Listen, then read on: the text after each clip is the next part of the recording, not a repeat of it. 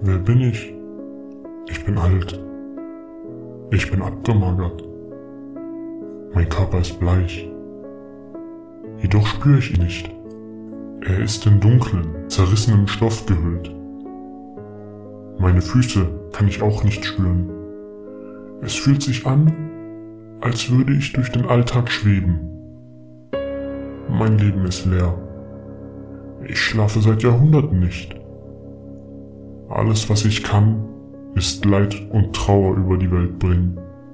Auch wenn ich es nicht will. Viele Leute hassen mich.